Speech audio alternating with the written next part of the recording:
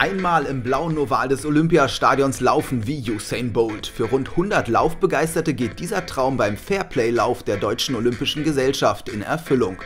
In 30 Minuten Laufzeit können die Sportler die Atmosphäre der historischen Anlage genießen. Jeder in seinem eigenen Tempo.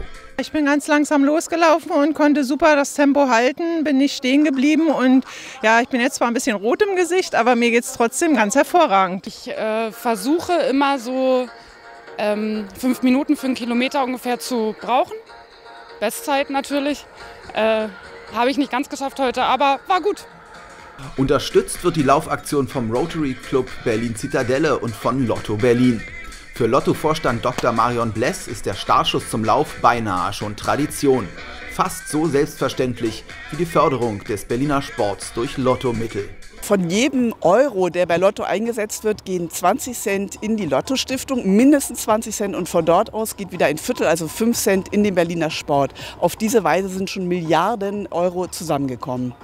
Deswegen ist es auch wichtig, dass man beim Original spielt und nicht bei Anbietern, die ohne Erlaubnis unterwegs sind, wie Lottoland, Lottohelden oder Tipp24. Die zahlen keine Steuern, keine Abgaben an den Sport und dass die Teilnehmerzahl aufgrund zahlreicher parallel stattfindender Sportangebote des Turnfestes etwas unter der des Vorjahres liegt, wird durch das internationale Starterfeld wieder wettgemacht. Klasse statt Masse gewissermaßen.